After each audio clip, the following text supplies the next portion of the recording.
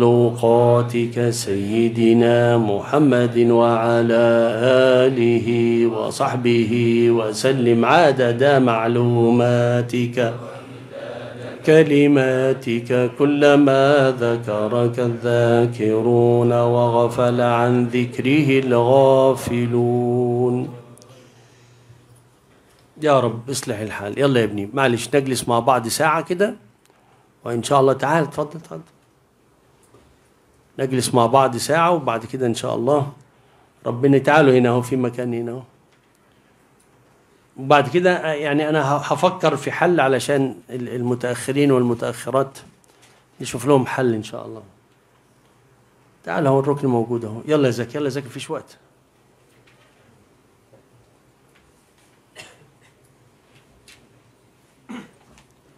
اقعد في حتة تعجبك. عايز تقعد جنب العمود هنا براحتك تسند ظهرك أهو. أرجوك يا زكي مفيش وقت. خلص يا زكي.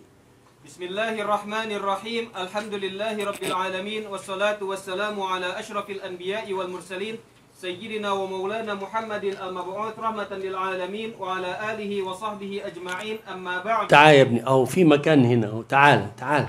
يا المصنف. رحمه. الله تعالى تعال ونفعنا به وبعلومه وبعلوم مشايخنا في الدارين. آمين. آمين آمين. يلا رحم الله من تقدم رحم الله من تقدم. ها؟ رحم الله من تقدم. تعال يا ابني شوية كده تعال كده. ها ها خلاص. يلا ها يلا. قول يا سيدي ها. فصل في حقيقة الإخلاص والصدق. الإخلاص أول أول منازل الصلاح. أول منازل الصلاح الإخلاص. يا حمزة فين الحقيبة معاك؟ اللي فيها الجلباب. مقصد مات يا ابني.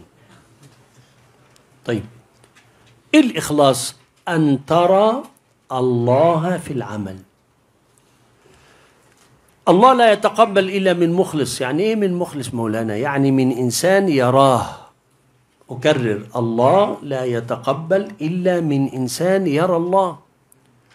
اعبد الله كأنك تراه فإن لم تكن تراه فإنه يراك.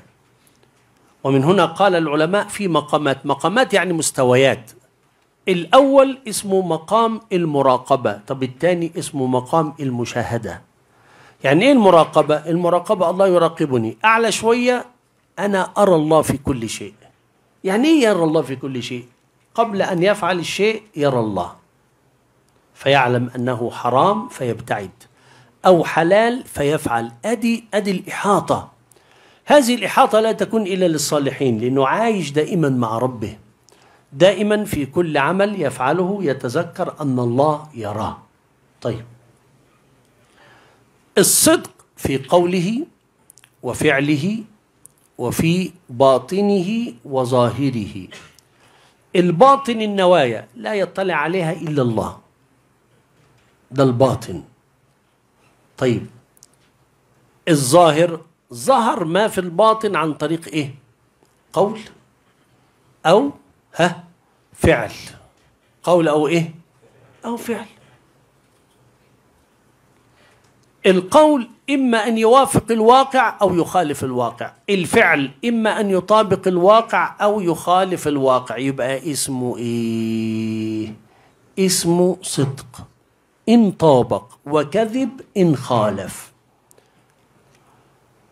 كان سيدنا أبو بكر يقول كان الناس في الماضي يفعلون ولا يقولون ثم جاء أناس يقولون ويفعلون. ثم جاء أناس يقولون ما لا. ده في زمن سيدنا أبو بكر. طب النهاردة إيه؟ مش عارف. شوف التطور بتاع الناس؟ لا يقول ولكن يفعل. ثم إن وعد يفعل. ثم يعد ولا يفعل. ده في زمن سيدنا أبو بكر في الصدر الأول. فما بالك بعد 15 قرن. الإخلاص علاقة بينك وبين ربنا أو علاقة بينك وبين الناس فتسمى رياء. الرياء أن ترى الناس في العمل هو ده الرياء. أكرر. بنى مسجد لمين؟ لله.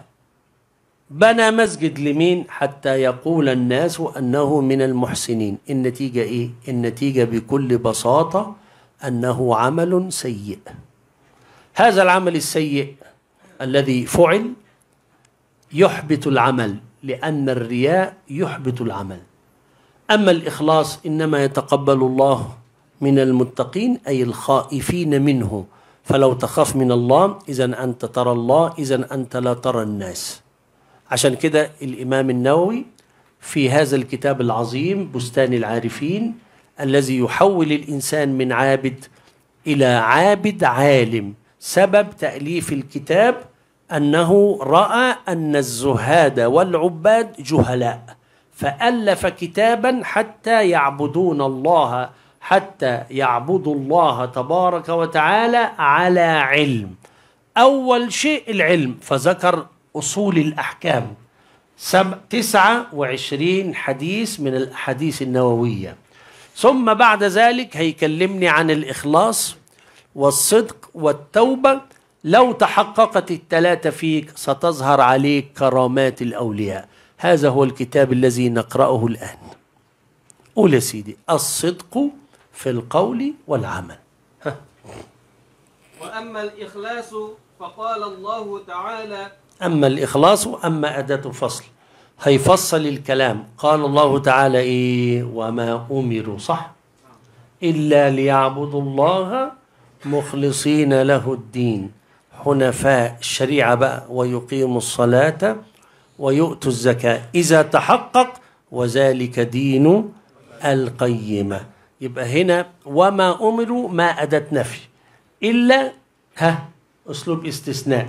الاثنين مع بعض اسمه إيه بقى؟ النفي والاستثناء يفيد الحصر. يفيد الإيه؟ الحصر. يعني الله لم يأمرنا إلا بالإخلاص في العبادة. وما أمروا إلا ليعبدوا الله. هذه العبادة الله نص على أنها بإخلاص. نعم سيدي.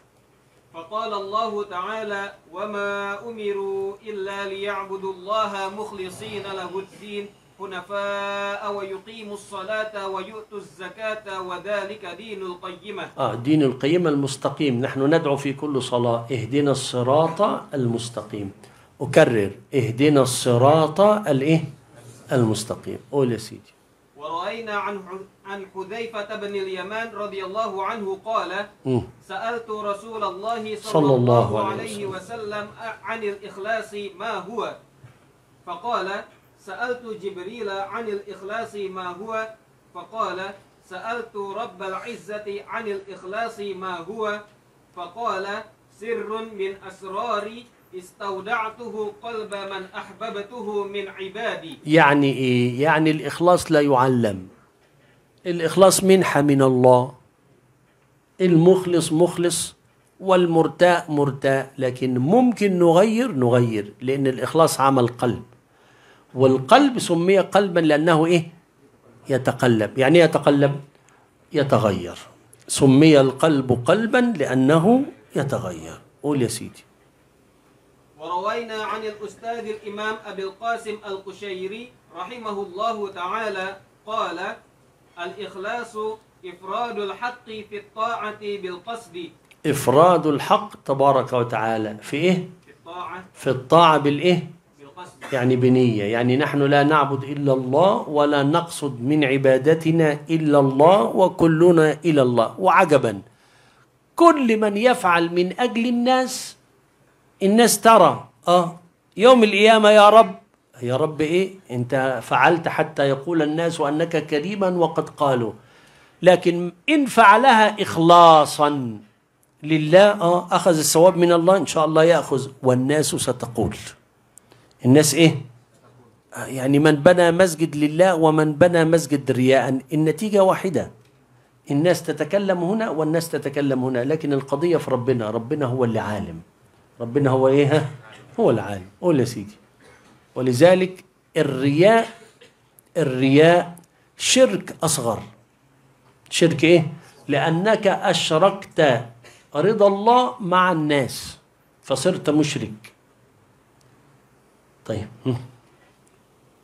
وهو أن يريد بطاعته التقرب إلى الله تعالى دون شيء آخر من تصنع لمخلوق. من تصنع لمخلوق. لو تصنع لمخلوق إذن هو يريد رضا المخلوق ولم يرد رضا الخالق. أكرر يريد رضا المخلوق ولا يريد رضا الإيه؟ الخالق. قل يا سيدي. دون شيء آخر من تصنع لمخلوق واكتساب محمدة عند الناس. آه اكتساب محمدة يريد إن الناس تفرح بيه إن الناس تشكره. قالوا علامة العبد الرباني استواء المدح والذم عنده. إن قالوا سيء لا يبالي وإن قالوا جيد لا يبالي لأنه مع مين؟ مع الله ليس مع الناس. هو مع الله ليس مع الناس. ما دام ليس مع الناس خلاص. أو محبة مدح من الخلق? أو معنى من المعاني سوى التقرب إلى الله تعالى. حاضر. كان الرسول يمدح الناس لكن المشكلة أنت ما تمدحش نفسك. قال صلى الله عليه وسلم نعم العبد عبد الله بن عمر إلا أنه لا يقوم الليل. فلما قام الليل ما شاء الله صار عبد عظيم أوي. وكان يمدح ويقول أفردكم زيد وأقضاكم علي الفاروق عمر أبو بكر الصديق عثمان رجل تستحي منه. الموضوع إيه؟ الموضوع إن الإنسان يحيا بالمدح لا بالذم. وكان الرسول يمدح. لكن هل المدح ده يقع في قلبك موقع المغتر؟ ولا يقع في قلبك قول يعني موقع الفرح أنه على الحق وليس على الباطل. الفرق النية. الفرق الإيه؟ النية. قول يا سيدي. قال ويصح أن يقال الإخلاص تصفية الفعل عن ملاحظة المخلوق مخلوقين. يا سلام. تصفية الإيه؟ الفعل. الفعل اللي هو عملك. عن مين؟ عن إيه عن ملاحظة المخلوقين إيه ملاحظة؟ ترى الناس ولا ترى الله؟ تصفية الفعل عن ملاحظة المخلوقين. يعني أنا لا أريد بفعلي أن يرى الناس. أمال تريد مين؟ أريد الله. فإذا أظهره مع السلامة. أنا ليس لي علاقة. من أراد خير الدنيا من أراد الدنيا فعليه بالقرآن. ومن أراد الآخرة فعليه بالقرآن. ومن أرادهما فعليه بالقرآن. قول يا سيدي قال ويصح أن يقال الإخلاص التوقي عن ملاحظة الأشخاص. التوقي الحماية يعني الابتعاد عن ملاحظة الأشخاص. اعمل ما بدالك دون أن تنظر إلى مدح الناس. مولانا الإخلاص ده صعب أوي. ومن هنا قالوا لا يسأل عن الرياء إلا مخلص. لا يسأل عن الرياء إلا إيه؟ إلا مخلصا. فأنت اعمل العمل ولا تبالي ولا تنظر إلى الخلق إن شاء الله يكون في إخلاص. نعم. وروينا عن الأستاذ أبي علي الدقاق رحمه الله تعالى قال الإخلاص التوقي عن ملاحظة الخلق. نفس الفكرة ها. والصدق التنقي عن مطالعة النفس. آه إيه مطالعة النفس؟ هل كلامك ده فيه مصلحة شخصية ولا لله؟ هل كلامك موافق للواقع ولا مخالف للواقع؟ هل كلامك تريد أن تفهم الناس الآخرة وأنت تريد الدنيا ولا تعمل إيه؟ أصدق شيء أن تكون صادق مع نفسك. كيف يكون الإنسان صادقا مع نفسه إذا استوى الظاهر مع الباطن؟ يعني الداخل مع الخارج. قوله وفعله وقلبه سواء هذا إنسان مية في المية مخلص. مية في المية مخلص قول وفعل وقلب. دي الأعمال بتاعتنا. ها أعمال قلبية وأعمال لسانية وأعمال بدنية ثلاثة. كن صادق في الثلاثة تكون مخلص. نعم. فالمخلص لا رياء له. فالمخلص الفاء فاء الفصيحة. فاء الفصيحة لا رياء له. الرياء أن ترى الناس. الرياء شرك أصغر. الرياء آه، عاوز الشكر من الناس وليس له علاقة بالله. ربنا ما ظلمكش وما ربك بظلام للعبيد. يوم القيامة أردت الناس؟ فقال الناس. ما أردت أخذته. يعني أنت عاوز إيه دلوقتي؟ ما تريده قو- قالوه لك. آه يا زكي. في مائدة للناس دي ولا مفيش مائدة؟ مش عارف. آه يعني يا نور عزتي هتفطروا فين؟ مش عارفين. يعني العيال دي مش عارفين. طب هي هي موجودة؟ تخصص مائدة النسائي سيد زكي. جايب لهم طعام سيد زكي. استغفر الله العظيم. أما الرجال لهم الله. يا تركي هتفطر فين النهارده؟ في البيت؟ آه عندك بيت وعندك طعام ما شاء الله آه مريم هتفطري فين؟ يعني إيه مش عارفة؟ أنت ساكنة في الهرم؟ العبور إيه المشكلة العبور تاكسي ب 300 جنيه يروح تفطر إيه العبور دي؟ استغفر الله العظيم العروسه اللي جنبك دي ساكنة فين؟ أهو قريبة خالص طب الحل إيه يا ولاد؟ تقلقوش. تقلقوش.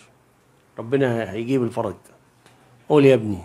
لكن لو أنتوا أجانب كان زكي فطركم لكن زكي ده ما عندوش أخلاق. قول يا ابني.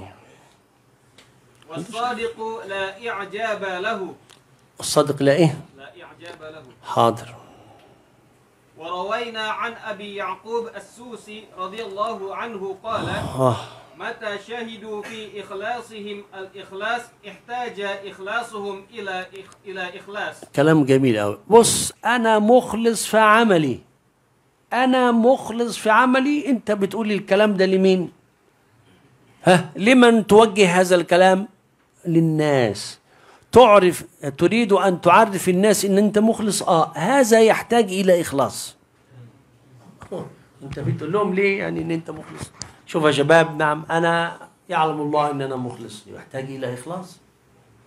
آه ممكن. يعني في واحد يعطيك مال حتى توزع والله يا ابني أنا لا أخذ منه شيء. ليه؟ عشان في اعتقاد عند بعض الناس والعاملين عليها.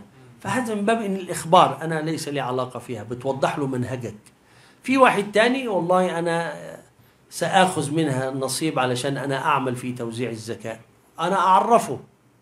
لكن أنا مخلص فيما أقول يبقى هذا الكلام يحتاج إلى دليل. حتى لا تقع فين؟ في الرياء.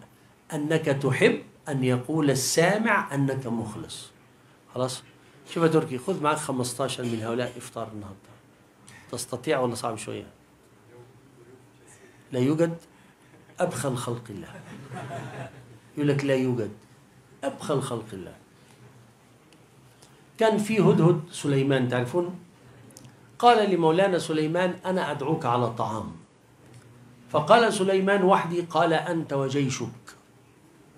كيف هدهد يطعم سليمان؟ مش مشكلة. لكن كيف يطعم جيش؟ فقال موعدنا عند النهر. فذهب سليمان والجند عند مين؟ عند النهر. فطار الهدهد واصطاد جراد عارفين جراد بيطير ده. ثم قتلها ونزل إلى البحر إلى النهر ووضعها فيه. وقال لسليمان هلموا على الطعام. قال أين الطعام؟ قال من فاته اللحم أدرك المرق. يعني من فاته من الجيش أن يأكل من جسد الإيه؟ الجرادة يشرب شربة. فين الشربة؟ النهر كله شربة.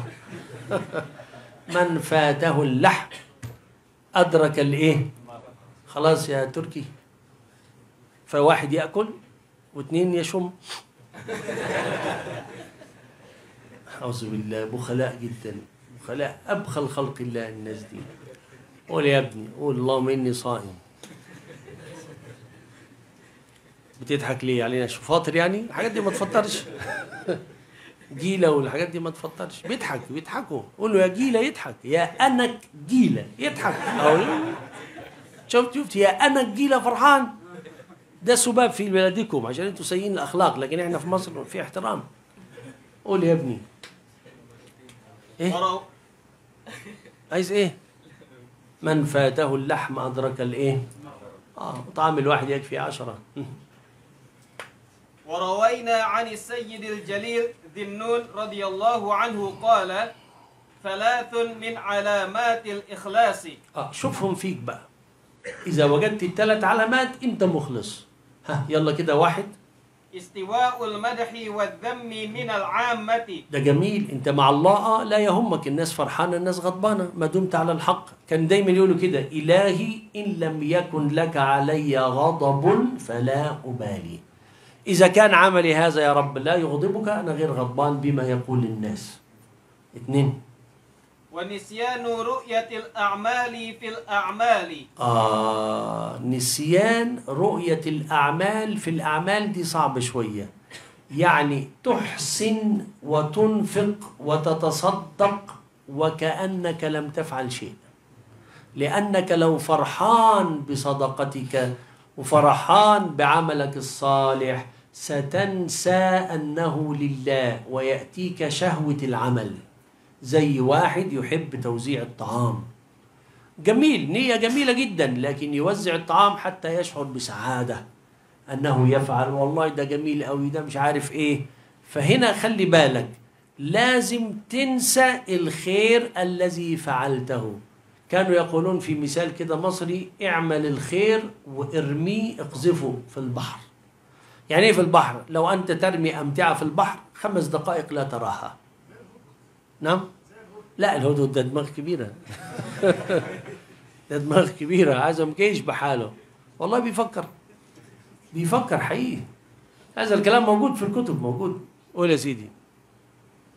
واقتضاء ثواب العمل في الآخرة. آه دي رقم ثلاثة برضو جميلة. شوف مولانا رقم واحد.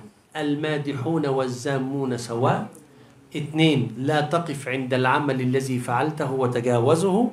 ثلاثة دي في أجمل حاجة. إيه هي؟ لا تنتظر شكرا من الناس. لا تنتظر شكرا. أنت عملت لمين لله. متى الثواب؟ يوم القيامة. إذا موعد الحصاد والأكل لم يأتي في الدنيا. فلماذا غضبان أن الناس لم تشكرك؟ لا تنتظر منهم كلمة إيه؟ شكرا. قول يا سيدي.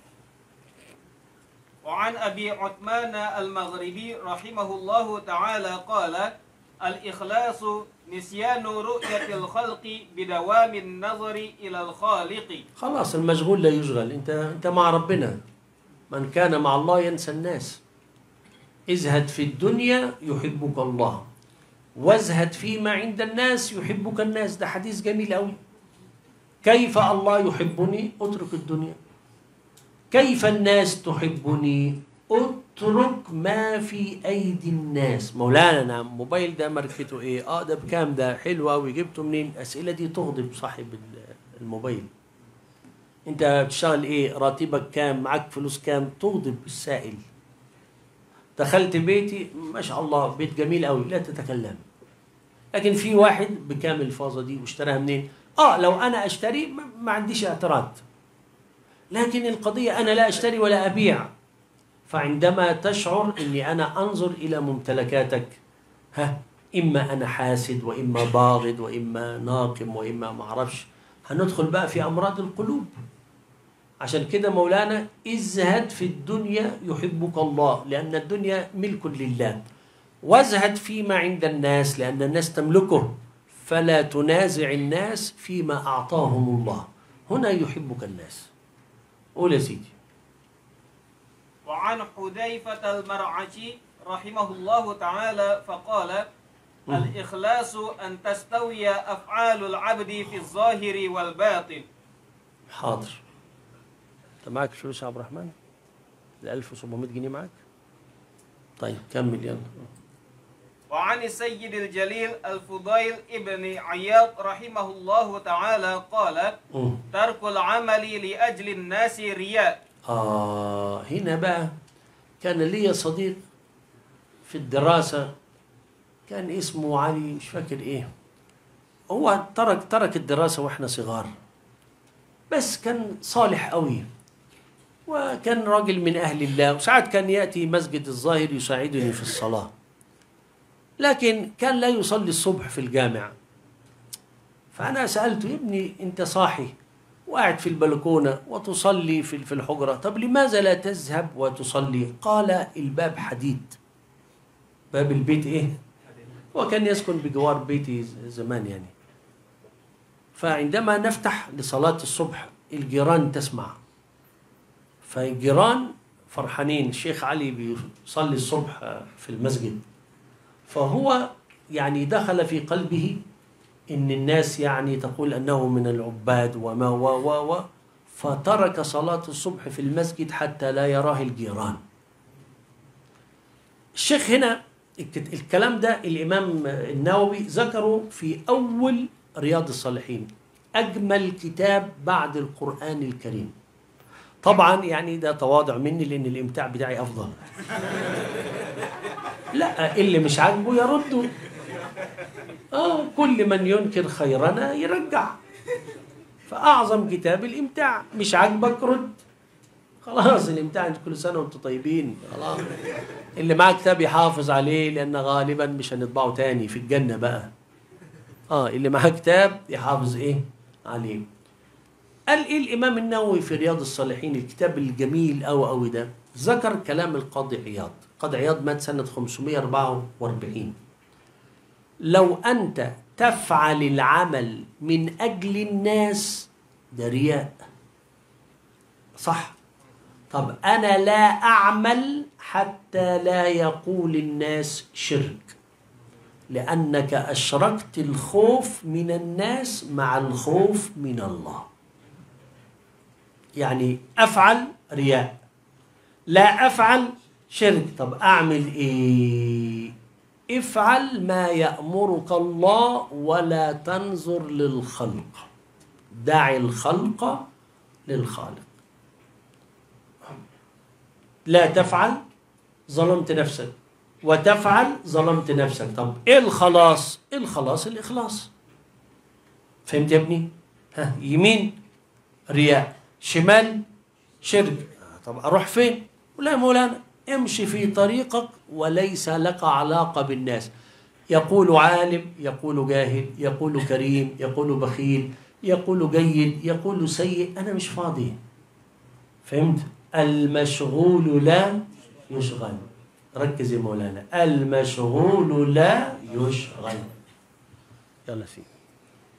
قال ترك العمل لأجل الناس رياء حاضر. والعمل لأجل الناس شرك. كلام جميل قوي كلام جميل قوي ها. والإخلاص أن يعافيك الله منهما. الإخلاص أن الله يرحمك. من أن تكون مرتاع ومن أن تكون مشركا. جميل أوي. وعن السيد الجليل أبي محمد سهل بن عبد الله التستري رحمه التستري التستري. التستري رحمه الله تعالى أنه سئل عن أي شيء أشد على النفس. قال الإخلاص لأنه ليس لها فيه نصيب. كلام جميل لأن النفس تحب أن تمدح. غذاء النفس المدح والرياء والحاجات العجب والكبر. فجأة هو يميت يميت يميت يميت. عشان كده الإمام الشافعي يقول أمت مطامعي. أمت إيه؟ آه كل إنسان له مطامع كل إنسان له شهوة. إلا أن الله إذا أراد بعبد خير يميت نفسه. بيسموها إنكار الذات. إنكار الإيه؟ مع العلم. لا يوجد واحد أنكر ذاته إلا وربنا كرمه. عشان كده يقول لك إيه؟ ال- الغرور مقبرة العالم. الغرور مقبرة الإيه؟ الكبر مق... الكبر بطر بطر الحق. الكبر بطر الحق قتل للحق نعم. وعن يوسف بن الحسين رحمه الله تعالى قال أعز شيء في الدنيا الإخلاص. عزيز يعني قليل. العزيز ما رواه اثنان فقط لكن هنا مع عزيز بمعنى إيه؟ قليل دايما. يقول لك الشيء العزيز يعني إيه الشيء العزيز؟ القليل. نعم. وعن أبي عثمان المغربي رحمه الله تعالى قال. إخلاص العوام ما لا يكون للنفس فيه حظ وإخلاص الخواص ما يجري عليهم لا بهم. فتبدو منهم الطاعات وهم عنها بمعزل. شفت؟ يعني يفعل وكأنه لم يفعل ده الخواص. يفعل وكأنه إيه؟ لم يفعل. هو هو ده بطبعه. هذا بطبعه. ولا تقع لهم عليه رؤية. يعني رؤية. لا ينظر إلى الخير الذي فعله. فعل وانتهى أمره. العلماء قالوا ما أفلح ملتفت. ما أفلح يعني ما أفلح ملتفت. تنظر إلى كل حاجة عملتها فرحان بكل حاجة عملتها. كل الكلام ده يعني هيبقى صعب بالنسبة لك. هيبقى صعب. قول يا سيدي. ولا لهم عليها اعتداد. آه إيه ولا لهم عليه اعتداد؟ لا يبني أحلامه على عمل الصالح. إحنا قلنا لحضراتكم ما أفلح إيه؟ ملتفت يعني إيه هو فعل الخير وينساه لا ينظر إلى عواقبه ولا ينتظر أن يقول له إيه؟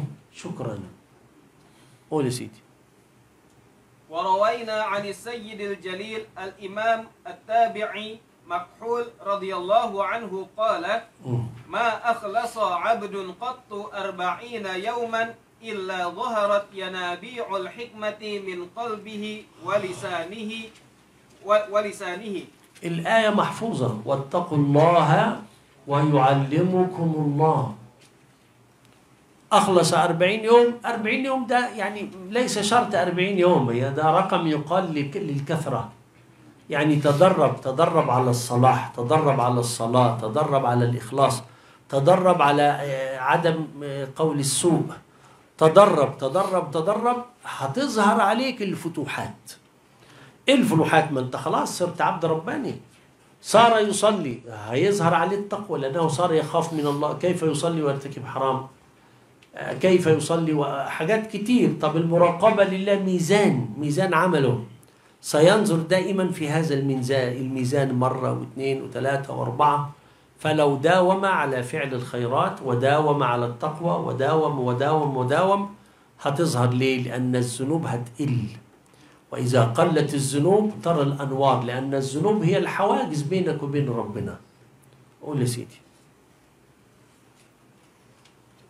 وروينا عن سهل التستري رحمه الله تعالى قال من زهد في الدنيا أربعين يوما صادقا من قلبه مخلصا في ذلك ظهرت له الكرامات. آه مش أنا قلت لك الكتاب إخلاص وتوبة وصدق كرامة. ده طريقك للصلاح بس الشيخ أول حاجة اتكلم عن النية. أول ما تكلم تكلم عن مين؟ عن النية. عن النية. لازم النية. لا أجر إلا بنية. لا أجر إلا النية الإخلاص. يثاب المرء بنيته. إنما الأعمال بالنيات. إنما الأعمال بالنيات. فلازم قلب سليم. إن الله لا ينظر إلى صوركم ولكن ينظر إلى قلوبكم التي فين في الصدور ولم يطلع على النية إلا الله. ولا سيدي. ومن لم تظهر له فلأنه عدم الصدق في زهده. يعني إيه؟ ليس الشرط أن ترى الكرامة خوارق للعادات. قال السادة النقشبندية الاستقامة أعظم كرامة. فالشيخ بيقول إن كنت من الأولياء ولم تظهر على يديك الكرامات أنت غير مخلص في إيه؟ في صدقك أو غير صادق في عملك. الكرامة ليس خوارق العادات. يعني إيه خوارق العادات؟ أنا دايما أتكلم في التليفون وما فيش رصيد. أعظم كرامة. كرامة صدقيني. شيخ يتكلم فيش رصيد كيف يتكلم كرامة لا يا مولانا الكرامة دي دي كرامة خارقة للعادة. لكن الكرامة الكرامة الاستقامة. الاستقامة طريق لا اعوجاج فيه. واعتصموا بحبل الله جميعا ولا تفرقوا. دي الاستقامة. طريق لا اعوجاج فيه.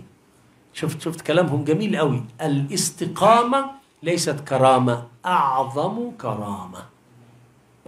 سيدي فقيل لسهل كيف تظهر له الكرامات؟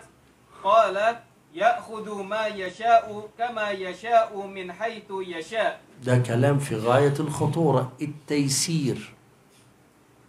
يأخذ ما يشاء متى شاء حيث شاء. يعني سبحان الله الله ييسر له كل الأمور. عاوز إيه؟ إمتى؟ من غير بكام ومن غير كيف. دي حياة المؤمن العبد الرباني. حياته كلها سلكة بدون مشاكل. عاوز إيه؟ كتب؟ موجود. مال؟ موجود. علم؟ الله ييسر. إذا يسر لك الله سبل ما تريد هو ده اللي إحنا عايزينه. دي دي كرامة أعتقد تلمسها وتشوفها. شوفها مع نفسك كده. كل ما تريد تلاقيه سهل ميسر ما فيش مشاكل خالص. كل اللي انت عايزه ربنا بيسره التيسير علامة الإذن. التيسير علامة الإيه؟ نعم. قال سهل التستري رحمه الله تعالى نظر الأكياس في تفسير الإخلاص فلم يجدوا غير هذا. الأكياس يعني الأذكياء نظر الأكياس أي الأذكياء. نعم. أن تكون حركته وسكونه في سره وعلانيته لله تعالى وحده. هو الإنسان إيه؟ إما حركة وإما سكون. ده حال الإنسان. إما متحرك وإما إيه؟ ساكن. فعايز أقول لك أنا في حركاتي وسكناتي لله. أنا ظاهرا وباطنا لله. جسدا وروحا لله أدي الاستغراق. نعم. لا يمازجه شيء. لا يمازجه شيء. ماشي. لا نفس ولا هوى ولا دنيا. حاضر. وأما الصدق قال الله تعالى يا أيها الذين آمنوا اتقوا الله وكونوا مع الصادقين. أعلى درجات الجنة الأنبياء والشهداء. ثاني درجة الصدق. ثالث درجة الشهداء. مع النبيين والصديقين والشهداء. ثلاثة رقم اثنين الصدق. وروينا عن الأستاذ القشيري رحمه الله تعالى قال الصدق عماد الأمر وبه تمامه وفيه نظامه العماد العماد اللي هو العمود ده إيه رمزات العماد؟ العمود ده اسمه عماد. هذا الحائط مهم وهذا السقف مهم لكن لو هذا العمود مش موجود كله يسقط. جدار وسقف. فهمتها أدي العماد. إرم ذات العماد أصحاب الأعمدة. عموده الإخلاص. لو ما فيش إخلاص لو ما فيش صدق كل الأعمال الصالحة تنهار لأنها أصلا ليست أعمال صالحة. قول يا سيدي. قال وأقل الصدق استواء السر والعلانية. أهو ده ضابط مهم قوي الظاهر زي الباطن. الظاهر زي الإيه؟ زي الباطن. قول يا ابني. وروينا عن سهل رحمه الله تعالى قال لا يشم رائحة الصدق عبد داهن نفسه وغيره. المداهنة الخداع. المداهنة الخداع. ودوا لو تدهنوا فيدهنون. لا يعرف الصدق مخادع لأن المخادع ظاهره غير باطنه يبقى كده تعريف الصدق غير موجود. الشيخ بيقول لي أقل درجات الصدق استواء الظاهر والباطن. طب المخادع الظاهر شيء والباطن شيء آخر. وروينا عن ذي النون المصري رحمه الله تعالى أنه قال الصدق سيف الله وما وضع على شيء إلا قطعه.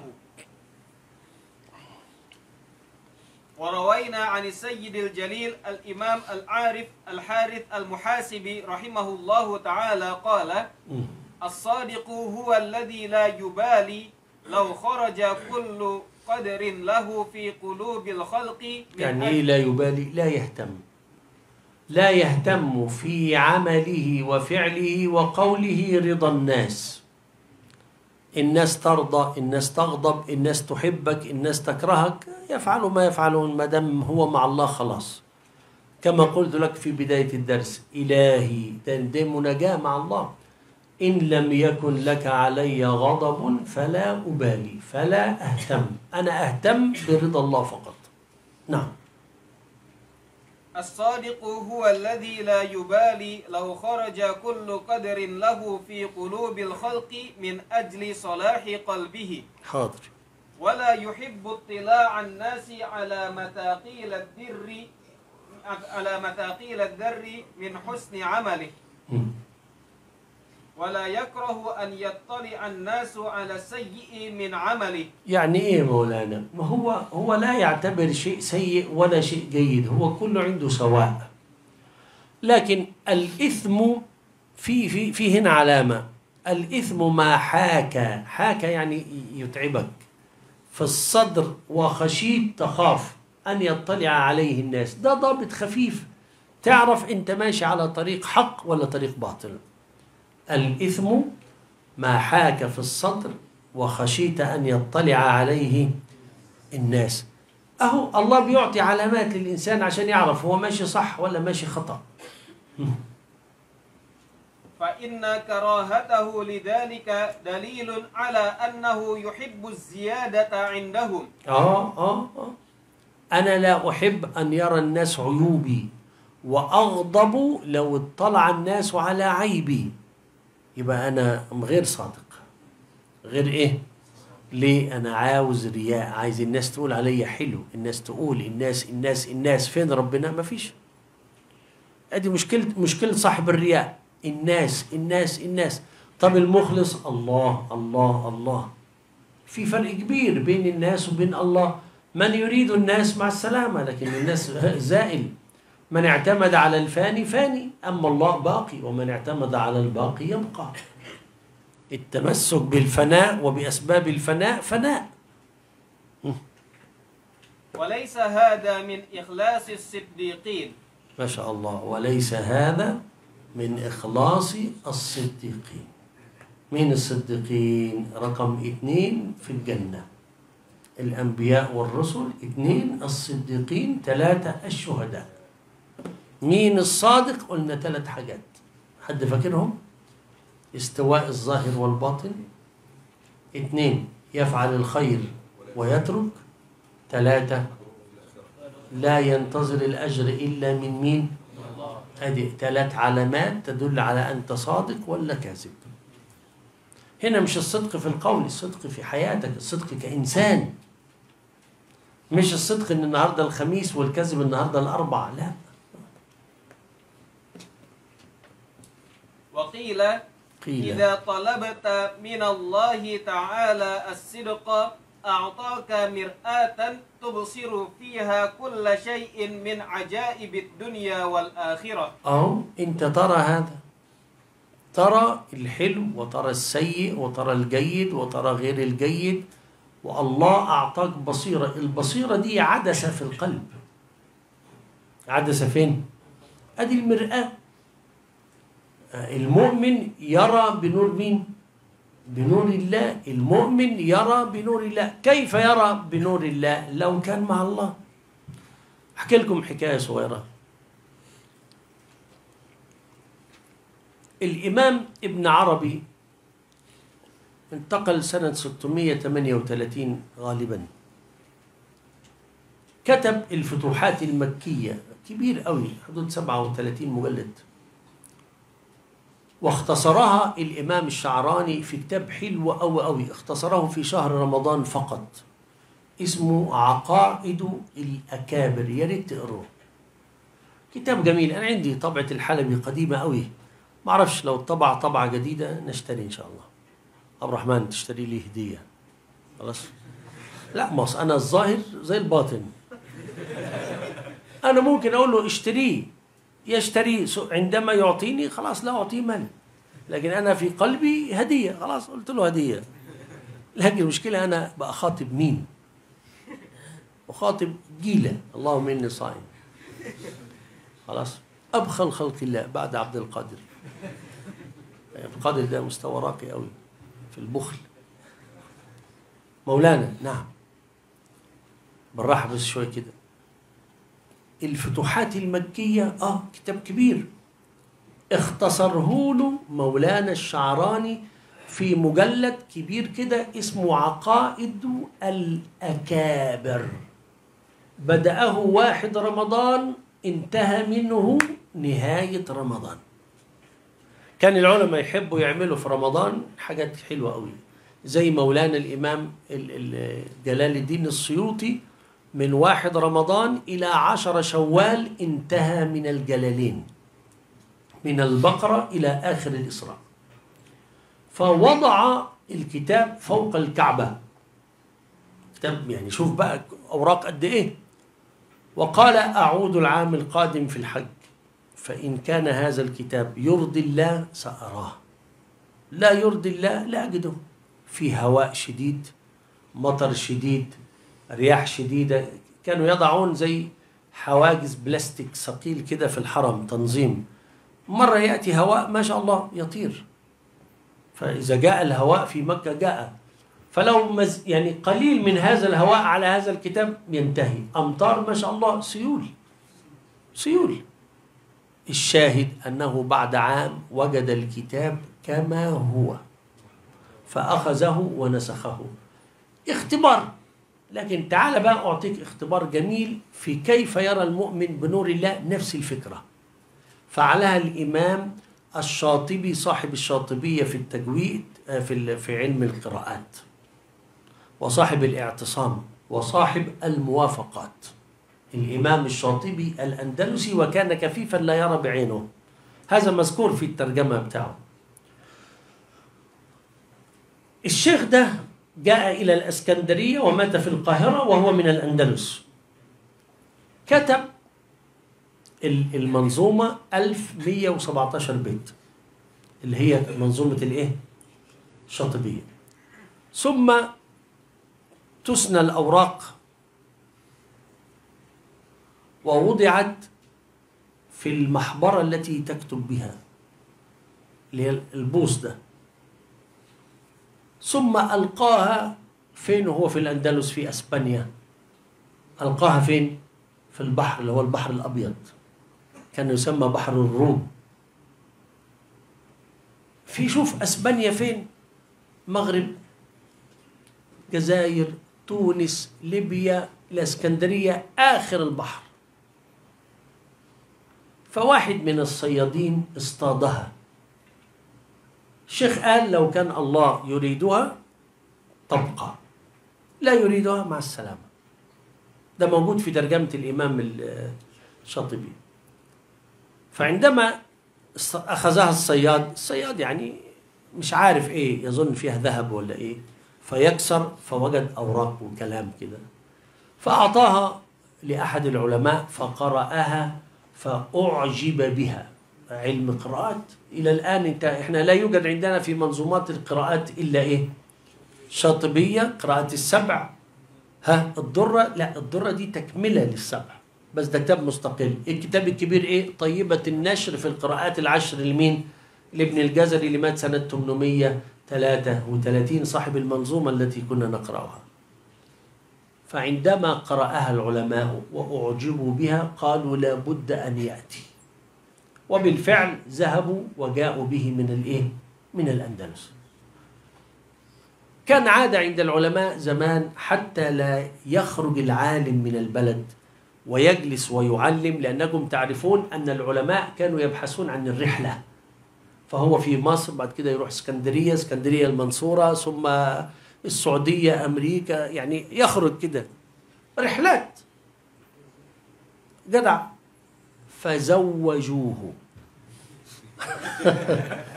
الزواج إصلاح وتهذيب. آه ومن لم تربيه أمه ربته زوجته. فتزوج. هو كفيف. الزوجة يعني طيبة. عايزة تقول له يعني إن أنا جميلة. فقالت إن شعري جميل وشعري طويل. آه لو كنت ترى جماله. فقال شعرك لونه أسود إلا شعرة واحدة بيضاء. هي نفسها كيف تعرف هذا؟ فقالت أمي أعلمتك. يعني أمي قالت لك ال ال أن شعري أسود إلا شعر بيضاء. قال لم تخبرني؟ قال قالت فمن أعلمك؟ قال ألا تعلمين أن المؤمن يرى بنور الله؟ كرامة. المؤمن يرى بنور مين؟ بنور الله. الله أعلمه وإن كان أعمى القلب ولكن لم يكن أع- أعمى العين ولكن لم يكن أعمى البصيرة. هذا الكلام حصل كتير العلماء وزهاد وعباد لأن الكرامة موجودة بشرط أن يوجد الإخلاص. المرة الجاية إحنا لينا حل في المسألة دي والآن إيه الساعة خمسة وعشرة. نترككم على ساعة وخمس دقائق. ومن لم يجد إفطار يجلس أنا أحاول أدبر له. أحاول أدبر له. اللهم صل أفضل صلاة على أسعد مخلوقاتك سيدنا محمد وعلى آله وصحبه وسلم. عدد معلوماتك ومداد كلماتك كلما ذكرك الذاكرون وغفل عن ذكره الغافلون. آمين آمين آمين. اقفل يا ابني اقفل.